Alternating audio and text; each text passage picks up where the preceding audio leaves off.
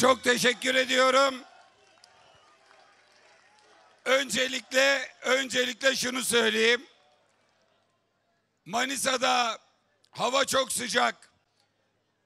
Herkesin çiftçilerin tarlada işi çok.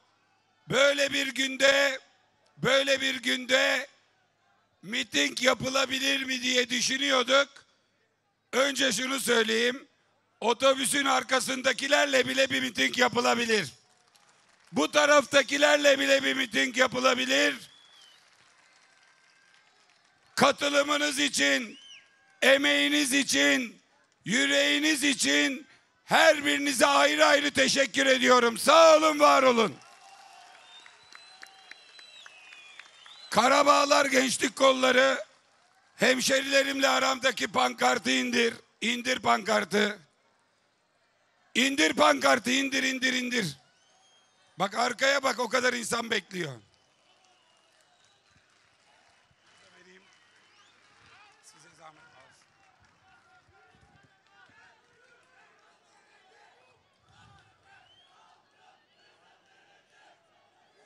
Bugün Türkiye'nin dört bir yanında Türkiye'nin dört bir yanında çiftçiler, köylüler alın terlerinin karşılığını alamadıkları için birileri özene bözene hesap yapıp maliyetin altında taban fiyatlar verdikleri için isyan ediyorlardı ve ben yola Rize'den çay mitingi yaparak başladım. Sayın Erdoğan'ın memleketi Rize'ye gittim önce. Bakalım Rizeliler ne diyor diye. Öyle bir kalabalık vardı ki meydanda. Ben öyle bir kalabalık görmemiştim. Dediler ki bu meydanda hiçbir siyasi parti böyle bir kalabalık toplayamadı. Demek ki demek ki sorun çok yakıcı ve hangi görüşten olursa olsun tüm çay üreticilerini bir araya getiren, birlikte ses yükseltmeye davet eden, mecbur kılan bir sıkıntı vardı. Ardından buğday fiyatı açıkladılar. 9 lira 25 kuruş. Bir sene önce 8.25'ti. Bu sene 9.25. Beklenen fiyat 15, 9 lira fiyat verdiler. Burdur'a gittim. Taze fasulyeyi sabah tarlada 8 liraya kopardık. Öğleden sonra Burdur pazarında 80 liraya satılırken gördük. Diğer taraftan diğer taraftan fındık Türkiye'nin en önemli ihraç ürünlerinden bir tanesi 165 lira fiyat beklenirken 135 lira verdiler.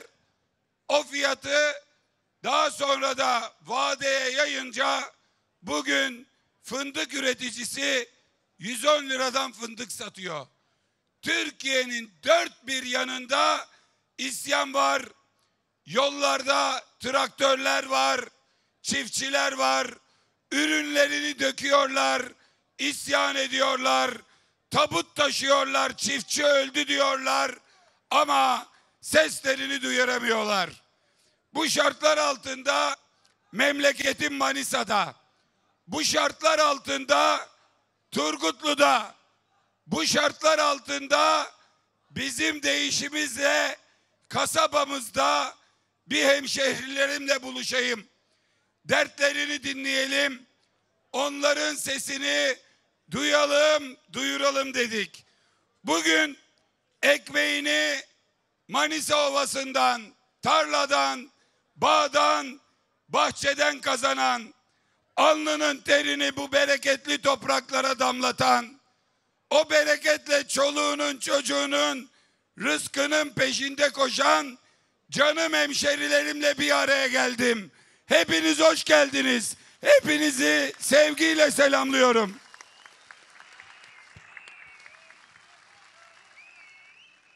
Burada ne mitingi yapacağız? Burası kuru üzümün kuru üzümün başkentidir. Burası sofralık üzümün başkentidir.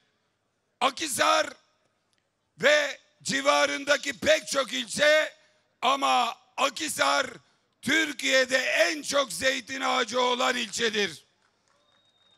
Pamuk Adana'da Çukurova'daki pamuğun lif uzunluğuyla Manisa Ovası'ndakinin lif uzunluğu aynıdır.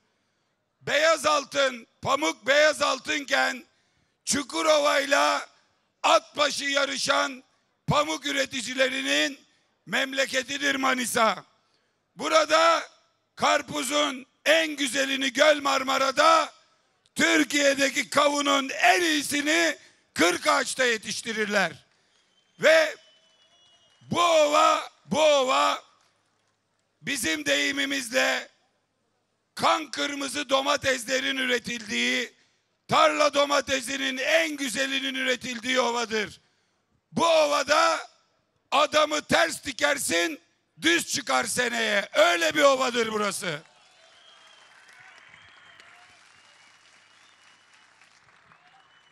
Yerel seçimlerden bu yana bu haklı itirazları, bu yüksek tansiyonu dile getirmeye çalışıyoruz. Dile getirmeye çalışıyoruz.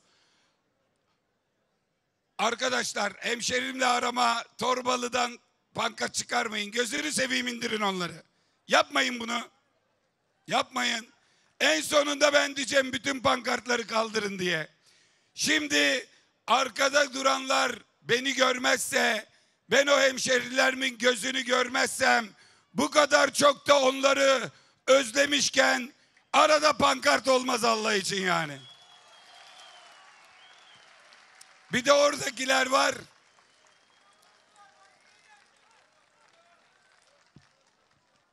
Bugün bugün Tekirdağ Ayrabolu'da da Rize'de de Konya'da da Adana'da da Gaziantep'te de bugün kasabada Turgutlu'da da ses aynı ses yürekler aynı şey için atıyor.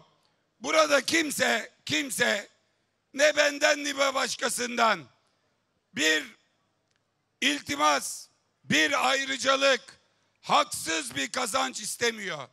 Sadece ve sadece Türkiye'nin dört bir yanındaki çiftçiler alnının terinin karşılığını istiyor. Çocuklarının rızkını istiyor. Borca girmiş, borcunu ödeyip mahcup olmamak için borcunu ödeyemezse ya da icrayla karşı karşıya kalmamak için dededen babadan emanet toprakları ipotek edilen bankaya geçmesin diye herkes alnının terinin karşılığını istiyor. Sonuna kadar haklısınız. Ananızın ak sütü gibi helal emeğinizin karşılığını alana kadar sizinle birlikte mücadele edeceğim.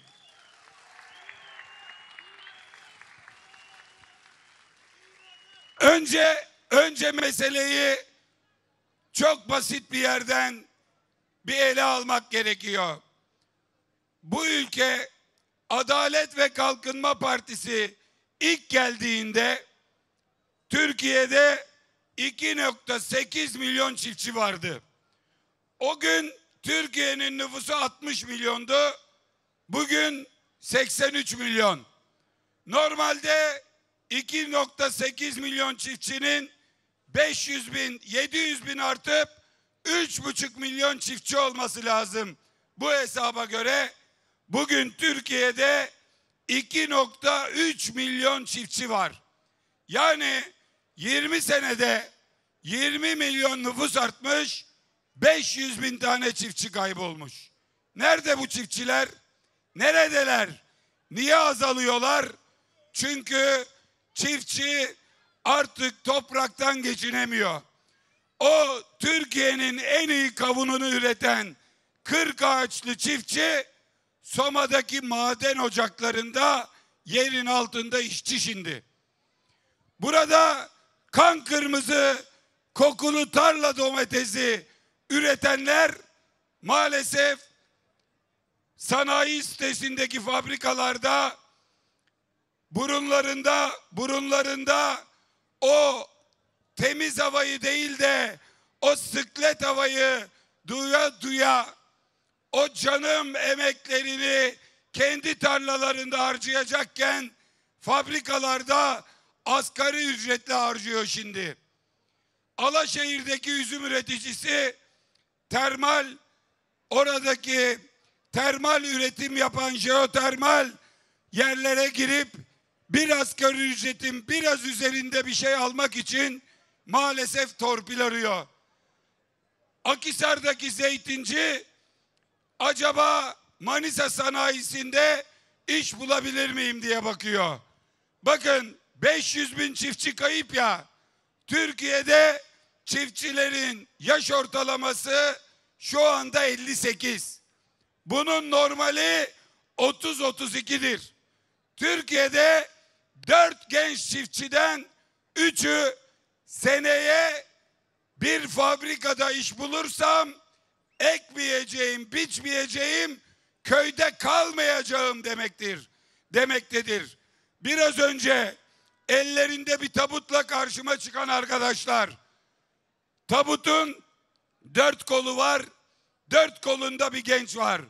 Onlara dedim ki Türkiye'deki dört genç çiftçiden üçü sanayide iş bulursam giderim diyor. Dördü birden ben de giderim dedi. Bir asgari ücrete bir asgari ücrete muhtaç hale getirilmiş gencecik evlatlarımız var. Çiftçinin yaş ortalaması 58 demek artık gençler tarımdan ümidini kestiler demek. İşte hani birileri her fırsatta çıkıp beka sorunu, beka sorunu diyorlar ya. Bundan hala bir beka sorunu yok. Bir ülkenin nüfusu artıp çiftçi sayısı azalıyorsa, çiftçilerin yaşı 58'e 60'a yaş ortalaması dayanıyorsa, geçmişte dünyada kendi kendine yetebilen az sayıda ülkeden biriyiz diye övünürken, bugün yurt dışından buğday ithal eden, saman ithal eden, buzağı yemi ithal eden, süt tozu ithal eden, löp et ithal eden, bal ithal eden, maalesef zeytin, zeytinyağı ithal eden, maalesef buğday, arpa, mısır ithal eden bir ülke durumuna düştük. Bu yüzden Hollanda kadar, Hollanda kadar bir toprak artık ekilemez, dikilemez hale terk edilmiş. Ekonomik sebeplerden dolayı. Ve çiftçilerin banka borçları son bir yılda tam yüzde 88 arttı. Rakam 869 milyar diye 689 milyar diye söylüyorduk. Bugün TMSF'nin rakamı borcun 700 milyara dayandığını gösteriyor. Geçen sene toplam borç bunun yarısı kadardı. Her geçen gün hep birlikte islafa sürükleniyor. Peki AK Parti geldiğinde Adalet ve Kalkınma Partisi iktidar olduğunda Tayyip Erdoğan başbakan olduğunda çiftçilerin borcu ne kadarmış? 2.4 milyar. 2.4 milyardan 700 milyara tam 300 kat çiftçinin borcu artmış. Bu Adalet ve Kalkınma Partisi iktidarında. Tarım kanunu var. Çok sık konuşuyoruz. Tarım kanunu der ki çiftçiler gayri safi milli hasılanın yani milli gelirin yüzde birini destekleme olarak çiftçiye verilecek. Bu kanun çıktığı günden bugüne kadar ödenmeyen hakkınız 853 milyar TL. Bakın size hakkınız 853 milyarı vermemiş, sizin bankalara 700 milyar borcunuz birikmiş. Yani Türkiye'deki bütün çiftçileri bir bütün olarak görsek, size hakkınızı verseler, bugün birinizin bir bankaya bir TL borcu kalmayacak.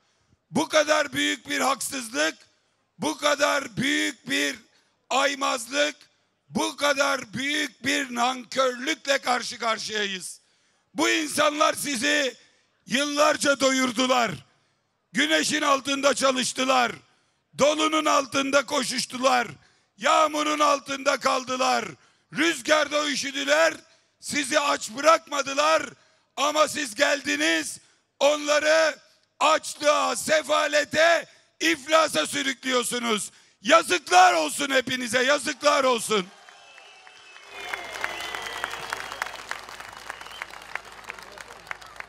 Ve bir rakam daha vermek istiyorum. Bugün çiftçilerin ben birazdan söyleyeceğim borçlarının faizlerinin silinmesini öneriyorum. Kabul etmiyorlar. Ama sadece geçen sene sadece geçen sene 2024 yılı için vazgeçilen kurumlar vergisi 660 milyar. Kim veriyor kurumlar vergisini? Kim veriyor? Çiftçi mi veriyor? Emekli mi veriyor? Çalışanlar mı veriyor? Kurumlar vergisini patronlar veriyor. Şirketler veriyor. Holdingler veriyor. Onlara gelince 660 milyar lirayı bir kalemde sileceksin ama çiftçinin 700 milyar borcu var. Faizini silelim deyince kaynak yok diyeceksin. Buradan Türkiye'nin bütün çiftçilerine, bütün köylülerine sesleniyorum. Siyaset öncelik belirleme işidir. Ben Cumhuriyet Halk Partisi'nin genel başkanıyım. Biz Cumhuriyet Halk Partisi'nin yöneticileriyiz. Bizim önceliğimiz işçiler, bizim önceliğimiz emekçiler ve bizim önceliğimiz elbette çiftçiler. Çiftçiler dururken sus. Sonra sonra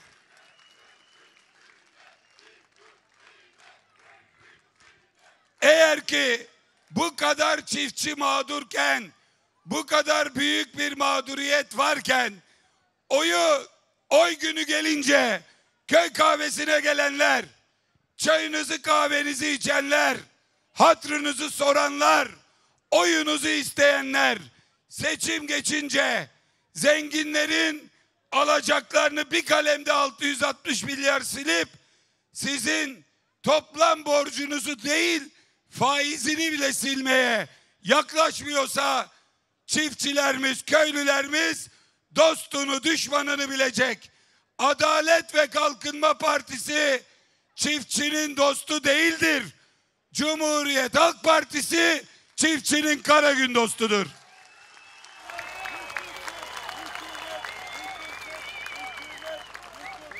Bugün çıkmışlar mazot desteğini kaldırıyor gübre desteğini kaldırıyor, adını değiştiriyor, temel destek diyor.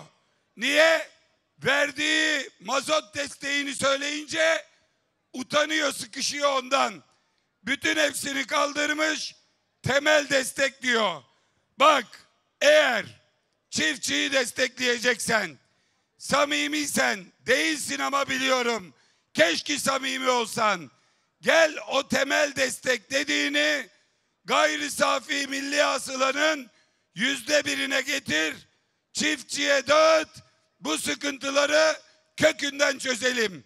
Ama yüzde bir değil, binde iki verecek kadar, binde iki verecek kadar hakkınızı yediler, yemeye de devam ediyorlar.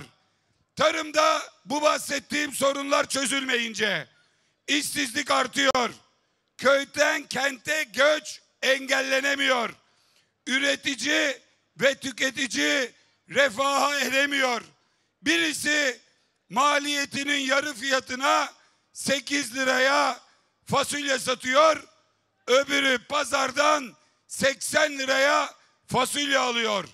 Ülkemiz gıda enflasyonunda dünyadaki ülkelerin 10 katı düzeyinde. Türkiye'de gıda enflasyonu 61.7, dünya ortalaması yüzde altı. Dünyanın 10 katı gıda enflasyonu var. Bunun bir tane sebebi var. Başımızdaki beceriksizler. Başka kimse değil.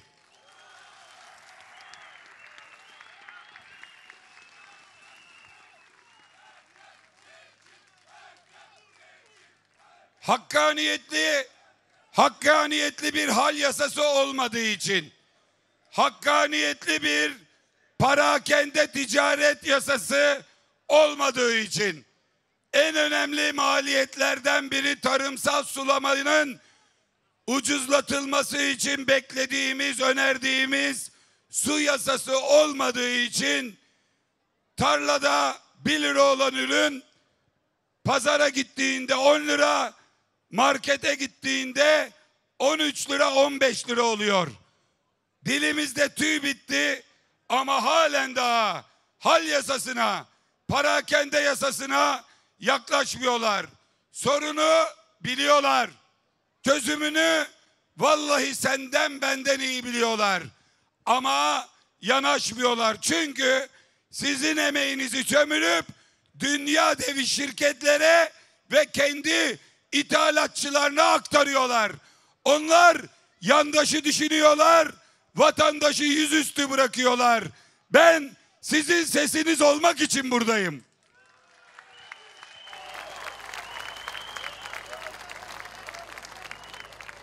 Bu bütün sorunların Türkiye'nin tamamının etkilendiği bütün sorunların yanında gelelim bizim Manisa'nın her birisine bir miting yapsan hak edecek ürünlerine. En başta en çok üretilen ürünümüz üzüm. Bu hafta başlarında yağışlar, afatlı yağışlar yüzünden büyük zarar gördük. Milletvekillerimiz Bekir Başevirgen ve Epi Bakırlıoğlu meseleyi takip ediyorlar. Tüm belediye başkanlarımızla birlikte meselenin üzerindeler. Meclise önergeler, kanun teklifleri sunuyorlar. Biz de elimizden gelen desteği veriyoruz. İlk yapılacak için bütün borçların ana parasının bir yıl ertelenmesini, faizlerin silinmesini, özellikle bu hafta başı yaşanan afetten sonra bu afetten etkilenen çiftçilerimiz, bağcılarımız için özellikle öneriyoruz. Rekolte geçen sene 300 bin tondu. Bu sene 200 bin tonu zor buluyor. Tarış 7 numara üzüm için 100 lira açıkladı. Bakıldığında fiyat kabul edilebilir gibi görünüyor.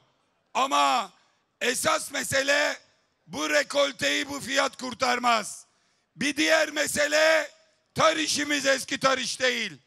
100 ton üzüm götür 8 tonunu alabiliyor. Yani tar işin verdiği fiyat piyasa yapıcı fiyat olamıyor. Senin bütün ürününü o fiyattan olsa bir nebze düşünülür. Ama yüzde sekizini alacak, kalanı ne olacak? O yüzden Toprak Mahsulleri Ofisi'nin gün geçirmeden bugünden yarına tezi yok derhal en az 120 lira 7 numaralı üzüm için bir fiyat açıklaması. Birçok yerde üzüm alım seyyar ofislerinin kurulması, çerine çöpüne osuna busuna bahane üreten, işi bilmeyen eksperlerle değil, üzümden gerçekten anlayanlarla hızla ve yüksek kapasitede üzüm alması gerekmektedir. Bunlar yapılmadığı takdirde üzümcü perişan olur, bankaların elinde sefil olur. Bir diğer taraftan Akisarlılar burada mı Akisarlılar? İlk kez Vehbi Bakırlıoğlu ilçe başkanıydı. Ben milletvekiliydim. Ballıca'da Zeytin Festivali'nde çıktık. Vehbi Bakırlıoğlu dedi ki zeytinyağına çok düşük bir teşvik veriliyor. Dane zeytine yok. Biz dane zeytine teşvik isteyelim dedi. Bunu Ballıca'da söyledim. Ballıca yıkıldı, Akisar yıkıldı. Ama o günden bugüne, o günden bugüne halen daha sesimizi duyuramadık. 1998 yılı yani beğenmedikleri, laf ettikleri, mezarında huzur vermedikleri Ecevit 1998 yılında ve devamında 40 sent litre başına 40 sent verilmesi gerektiğini söylemiş.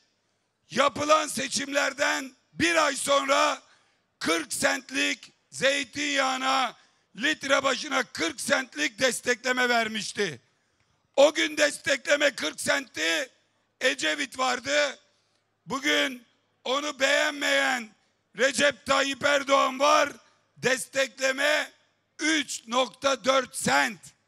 40 sent 3.4 sent. 10 katından bile az. Bu yüzden Akisarlılar bir ellerini kaldırsın. Buradan hep birlikte zeytinyağına litre başına 10 lira, tane zeytine ise kilo başına 2 lira destekleme istiyoruz. Aşağısı kurtarmıyor.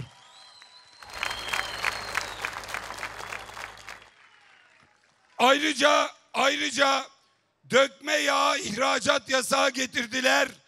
Dökme yağ getirilen bu ihracat yasağı üreticiden alım fiyatını düşürdü. Bu sıkıntının da bir an önce ortadan kaldırılması lazım. Dökme yağı yasaklayınca üreticinin fiyatı düşüyor ama git bak marketteki fiyat düşmüyor. Marketteki fiyatı düşürmek için tedbir açıklıyorlar. Zeytin üreticisinin fiyatı düşüyor. O yüzden bu konuya gerçekçi, akılcı çözümler üretmek gerekiyor. Biraz önce söyledim. Hatta şöyle anlatayım. Allah gani gani rahmet eylesin. Ben biliyorsunuz hemen şuradan Hacı Haliller köyündenim. Sizin Sinderli'nin hemen yanı. Biliyor musunuz? Hacı Alilerden gelen var mı? İyi, fena değil. Hemşeriler orada. Bir gün, bir gün köyden Kadriye teyzenin, Kadriye yengenin torununun düğününe gittim. Manisa'da bir düğün salonunda. Basık bir salon. Gençler oynuyor. Toz duman olmuş. Herkes terlemiş. Tatsız tuzsuz bir halde Kadriye yengeyi gördüm. Elini öptüm. Yenge dedim ne yapıyorsun? Nasılsın? Nasıl olayım dedi. Şu hale bak dedi. Bir tane plastik tabak. İçinde üç tane kuru pasta. Böyle salladı salladı. Şuna bak dedi bir vurdu bir ittirdi. Plastik bardaktaki limonata da masaya döküldü. Bunun dedi babasını everirken biz üç gece dört gün düğün yaptık. Bir tane dana üç tane koç kestik dedi. Bir dana üç koç kestik dört gün düğün yaptık. Şu halimize bak dedi. Elindeki kuru pastayı gösterdi. Limonatayı da devirdi. O günlerden bugünlere gelmemizde pamuğu kaybetmemizin, beyaz altınımızı kaybetmemizin payı büyük ama sorumlusu Hacaliler değil. Sorumlusu Derbent değil. Sorumlusu kasaba değil. Sorumlusu Göl Marmara değil. Bunların hepsinin bir tane sorumlusu var. Ben bilirim ben diyor ya. İşte sorumlusu o. Geçen sene, geçen sene pamuk toplanmadan önce fiyat 30 liraydı bugünlerde. Bugün 18 lira. Doğru mu? Geçen sene 30 liraya satılan pamuğu bugün 18 liraya almaya kalkarsan nasıl olacak bu iş? Kadriye teyze bir dahakine artık o kuru pastayı da bulamayacak. O düğün salonunu da tutamayacak. Bırak dana kesmeyi, koç kesmeyi artık düğün yapamayacak hale geldi insanlar. Ülkenin ülkenin birinci cumhurbaşkanıyla sonuncu cumhurbaşkanı. Birisi bugün al ananı da git diyor size. Oysa benim partimin kurucusu diyordu ki çiftçi milletin efendisidir.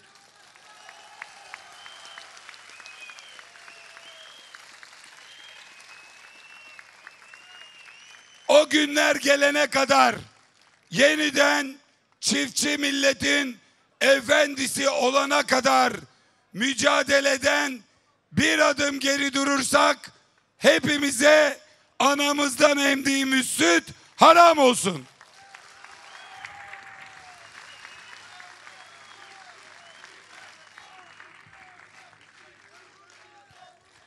Demin şurada gelirken kolumdan çekti bir hacı amca. Dedi ki masrafları söyle masrafları. Bakın hacı amcamın hatırı için söylüyorum. Gübrenin hatta o diyor ki söyle ki duysunlar. Buradakiler biliyor da bütün Türkiye'ye bir duyursun buradakiler.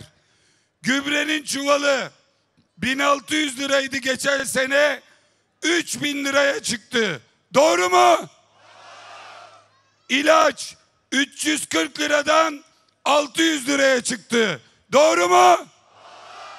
Mazot 24 liraydı. 45 lira oldu.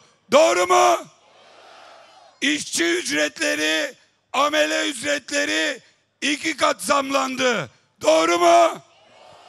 Sulama maliyeti üç katına çıktı. Doğru mu? Ama bunlar döndüler dolaştılar. Bizim ürünümüze geçen seneki fiyatı bile çok gördüler. Doğru mu? Bu şartlar altında geçim olmuyor. Doğru mu? O zaman seçim olsun mu? Başka çaresi yok bu işin.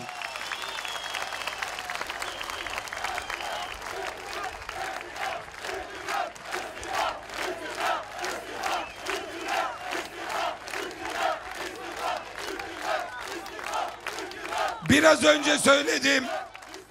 Bunlar sizin çiftçilerin sorunu. Ama birileri sanmasın ki bu sadece sizin sorununuz. Ne oluyor biliyor musunuz? Hal böyle olunca gıda enflasyonu yüzde altmış oluyor. Dünyanın on katı dedim ya. Bizden kötüsü yok mu diye soran olabilir. Bizden kötüsü yok mu? Dünyadaki 200'ün üzerindeki ülkede gıda enflasyonu Türkiye'den yüksek dört tane ülke var. Dört tane. Gıda enflasyonu Türkiye'den yüksek dört tane ülke var. Bakın o ülkelerin adı Arjantin, Sudan, Zimbabwe. Recep Tayyip Erdoğan sen dünya liderisin ya. Geçebildiğin ülke Zimbabwe. Zimbabwe. Yazıklar olsun.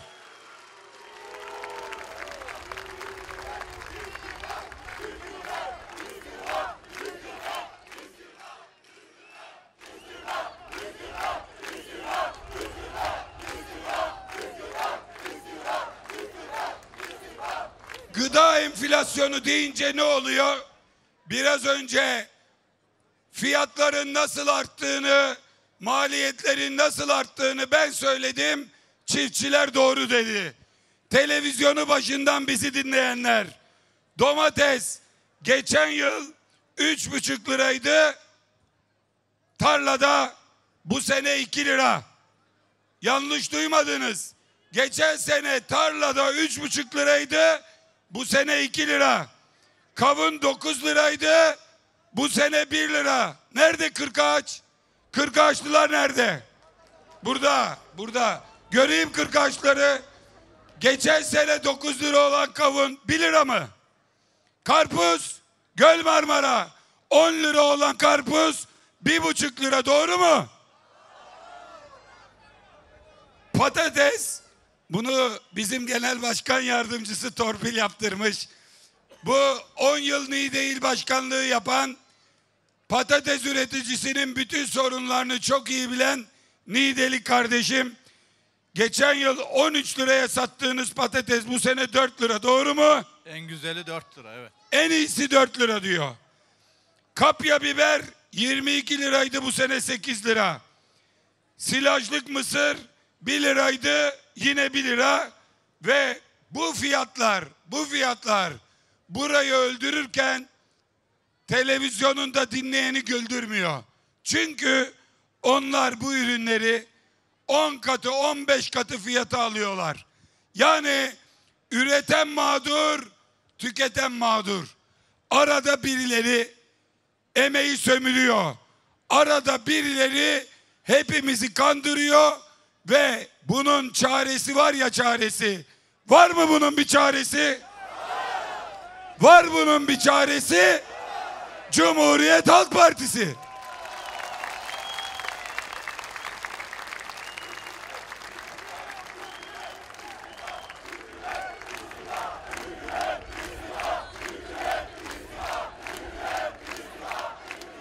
Tam da tam da bu yüzden Türkiye'nin dört bir yanında hükümet istifa diye çiftçiler bağırdığı için birileri gündemi değiştirmeye, kavgalar çıkarmaya, bizimle başka meseleler üzerinden kavga etmeye, bu sorunların üstünü örtmeye çalışıyorlar. Evladınız olarak, Bahçıvan Abdullah Aga'nın torunu olarak, Hacı Aliler köyünden Sadriye Hanım'ın, Selanikli Sadriye Hanım'ın torunu olarak size namus ve şeref sözü veriyorum. Ne yaparsa yapsın onun suni gündemine değil bu ülkenin gerçek gündemine sizin sorunlarınızı dile getirmeye sadık kalacağım.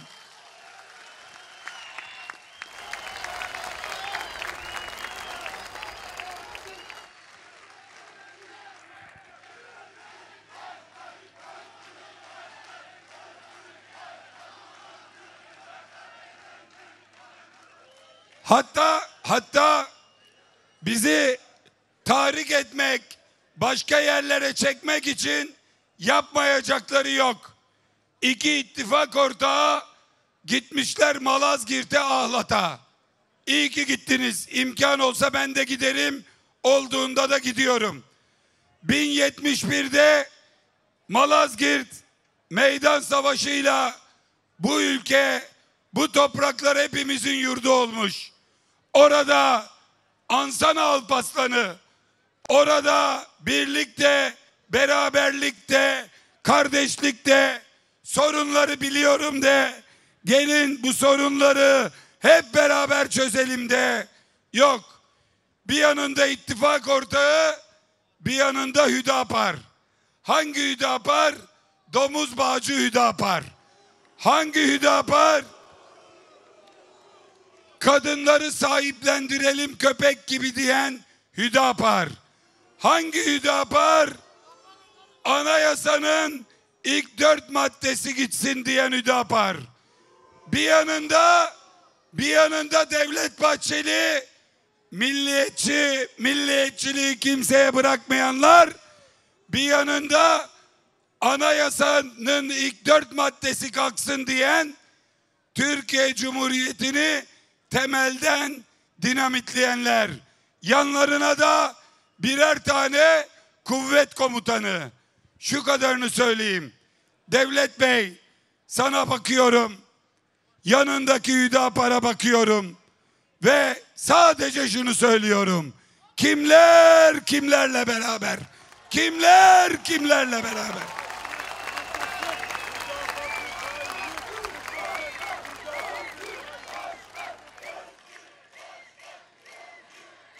Ama ama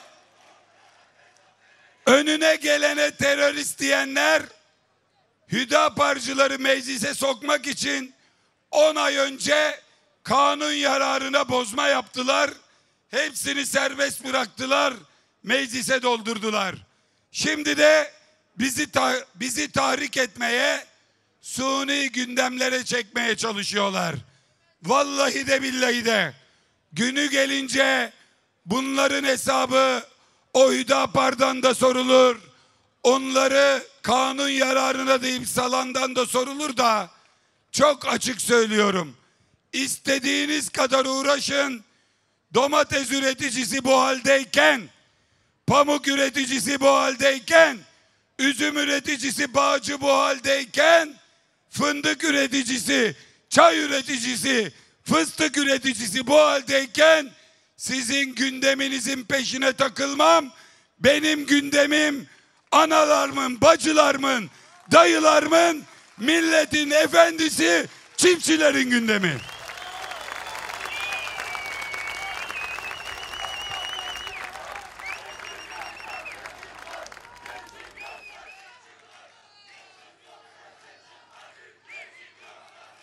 Diyorlar ki geçim yoksa seçim var.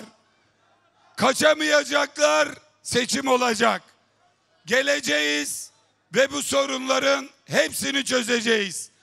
Ama müsaadeniz olursa hiç uzatmadan son sözümden önce bugün sizin bütün sorunlarınızın çözümü için ne yapmak lazım? Biz geldiğimizde ne yapacağız? Biz bugün iktidarda olsak ne yapardık? Onları söyleyeceğim. Çok açık olarak çiftçi desteklemelerinin kanundaki orana çıkarılması yüzde bir desteklemenin verilmesi lazım ki biraz önce anlattım. Çok büyük bir destek bugün verilenlerin 10 katına denk gelecek. Verimliliği arttıran en önemli unsur sulama. Modern sulama altyapısı ülkenin dört bir yanında yaygınlaştırılacak, desteklenecek. Çiftçilerin banka borçlarının tamamının faizleri silinecek. Ana para 5 yıla bölünecek. 5 yıla.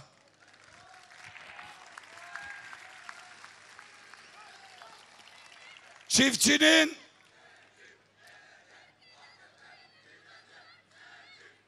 Bağkurluyuz değil mi? Bağkurluyuz. Tarım Bağkur diyorduk eskiden. Rençber Baykuru diyordular. Rençber Baykurlular 9000 günde emekli oluyor. Doğru mu? Ama SSK'lılar 7200 günde hatta kadın SSK'lılar 5000 günde oluyor. Bağkurluların tamamının prim gün sayısı 7200'e inecek. Bu sözü verenler tutmadı. Cumhuriyet Halk Partisi gelecek. Bu sorunu kökünden çözecek.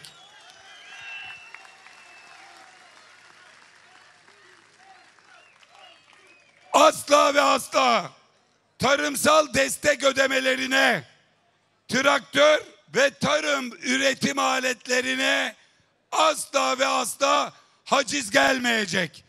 Bakın bugün kanunda var. Berberi hacize git.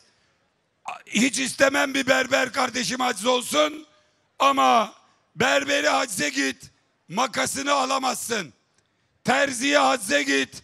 Mezurunu, makasını, iğnesini alamazsın. Doktoru hacize git. Steteskopunu alamazsın.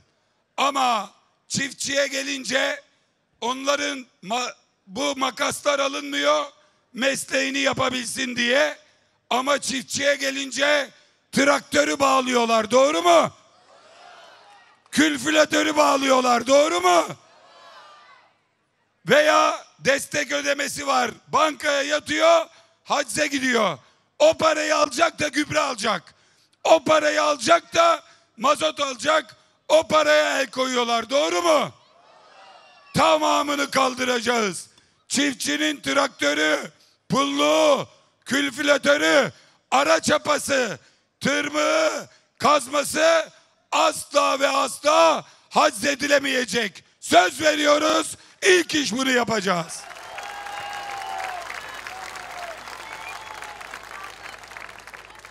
İklim değişikliği var. Olur olmaz afet oluyor. Doğal afet sigortasını getireceğiz. Çiftçinin kullandığı mazottan ÖTV ve KDV almayacağız. Tayyip Bey de almıyor Allah razı olsun. Bakın eğer bir çiftçinin bir tane yatı olsa, bir tane kotrası olsa, güzel güzel gemicikleri olsa mazotu ÖTV'siz KDV'siz veriyor. Yatlara ÖTV'siz KDV'siz mazot verip traktöre bu fiyattan mazot verenlere bundan sonra çiftçiler oy vermeyecekler. Verecek misiniz? Ama ben monozotu ÖTV'siz KDV'siz vereceğim. Cumhuriyet Halk Partisi'ne sahip çıkacak mısınız?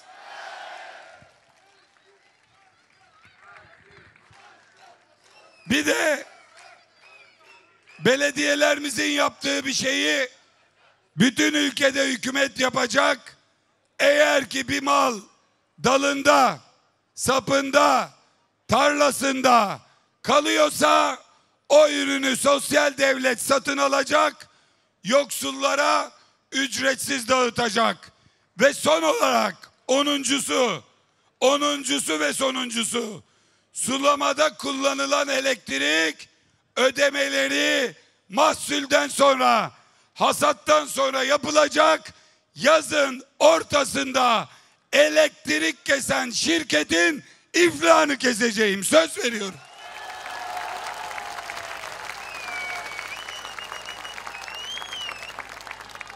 Yapmayın dedik dinlemediler. Elektriği özelleştirmeyin dedik. GEDAŞ'a verdiler. Başımıza bela ettiler. Cumhuriyet Halk Partisi iktidarında başta tarımsal elektriğin dağıtımı olmak üzere bu haksız özelleştirmeler geri alınacak. O GEDAŞ'ı da öbürküleri de DEDAŞ'ı da hepsini kamulaştıracağım. Çiftçiye düşmanlık ettirmeyeceğiz.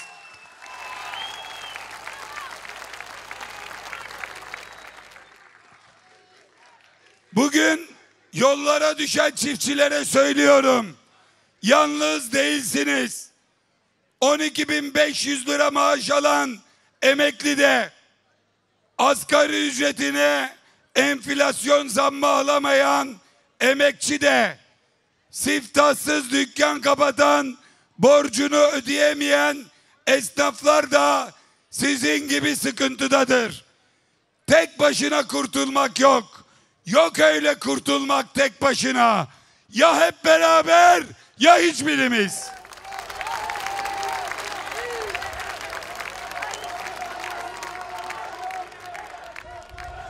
Daha önce söyledim. Koştular geldiler. Bir kez daha söylüyorum. Emeği sömürenler, alın teri sömürülenler, karşılığını alamayanlar hep aynı taraftalar. Onlar halkın tarafındalar. Birileri de onları sömürenlerin tarafındalar. Biz sömürüye karşı hep beraber olacak ve Türkiye ittifakını genel seçimlerde de kuracağız. Aslan sosyal demokratlar, muhafazakar demokratlar, milliyetçi demokratlar, Kürt demokratlar yeter ki vatanını sevsin. Yeter ki bayrakla, atayla, Atatürk'le, Gazi Paşa'yla sorunu olmasın. Yeter ki yeter ki bölücü olmasın. Bütün demokratlar Türkiye ittifakının içindedir. Hep birlikte başardık. Yine başaracağız. Genel seçimlerde öncelikle bir an önce seçimleri istemeye var mısınız? Var mısınız? Var mısınız? Sonra da seçimlerde hakkımızı almaya, sizi koruyacak, kollayacak bir iktidarı getirmeye var mıyız? Var mıyız? O zaman üzülmeyin, enseyi karartmayın. Bütün dertlerin var bir çaresi Cumhuriyet Halk Partisi. Kaldır pankartları görsün herkes. Kaldır pankartları, kaldır, kaldır, kaldır. Manisa'nın dört bir yanından, komşu illerden koşup gelenlere selam olsun. Ekmeğini taştan çıkaranlara, alnının teprini, alnının terini toprağa damlatanlara selam olsun. Atatürk'ün dediği gibi milletin efendilerine selam olsun. Hep birlikte çalışıp hep birlikte başaracağız. Sizi seviyorum. Size güveniyorum. Size inanıyorum. Beni değil, kendinizi bir alkışlayın duyalım. Alkışlayın. Hoşça kalın. Hoşça kalın. Ama mücadelenizi, azminizi yitirmeyin. Hep beraber başaracağız. Bu emek sömürenleri, hakkınızı yiyenleri hep beraber yollayacağız. Hep beraber. Saygılar, sevgiler sunuyorum. Sağ olun, var olun.